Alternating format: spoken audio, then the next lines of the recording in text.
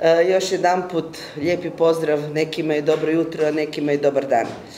Da je prije pet godina, ne tako davno, dakle da smo prije pet godina dobili sve one moguće izvješće o klečavcima na trgovima ili da se organizira okrugli stol kao što ga danas organiziraju Domovinski pokret zajedno sa udrugom Ume obitelji, mi bi se nasmijali s neglum ramenima i onako rekli da se je tu neko nešto zabunio i da je nešto krivo. Ali zaista danas znamo da nije riječ o zabuni, da nije riječ o ironiji, nego da je zapravo riječ o jednoj vrlo, vrlo ozbiljnoj namjeri u kojem e, se, u toj namjeri se prilično otvoreno poziva na oduzimanje slobode i prava žena i na njihovo podčinjavanje.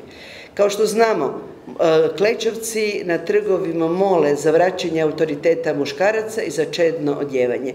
Čuli smo zaista zbilja jezive poruke, kao recimo da žene svojim odjevanjem izazivaju muškarce i da nije čudno da se oni ne mogu suzdržati ako žena nije dovoljno pokrivena. I njihova prava su se tu kršila. To nam danas želi poručiti domovinski pokret. Ovih dana, pri tom se moram referirati, naslušali smo se jednako tako i priča o rodnoj ideologiji. Jedina rodna ideologija koja postoji i koju se trebamo bojati je ona koju širi pokret koji lažima i manipulacijama želi žene pretvoriti u robinje, a sve koji su drugačiji jednostavno izbrisati iz postojanja. I tu ideologiju predstavlja i današnji okrugli stol domovinskog pokreta. E, ništa nije slučajno.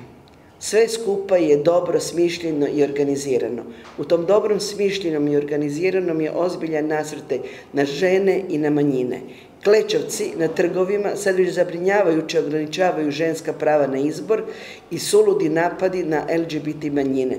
Sve to je povezano sa ciljem stvaranja atmosfere u kojem su ženska prava i prava manjina ne osnovna ljudska prava, nego zapravo luksus.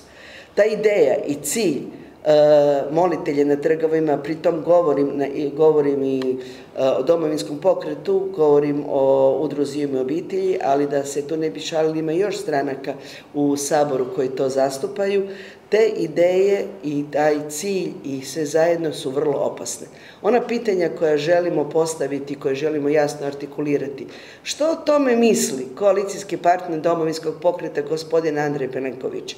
A jednako tako, ono što je, što moramo se boriti, što moramo jasno reći, zbog naše djece, zbog naših unuka, ženskih i muških, da smo kao društvo takve opasne ideje trebamo staviti zaista na margine tamo gdje im je mjesto i reći da one nisu društveno prihvatljive jer ja jednostavno ne mogu vjerovati da svi birači tih stranaka žele živjeti u zemlji u kojima će njihovim kćerima neki tuđi sinovi otimati slobodu i osobnu autonomiju.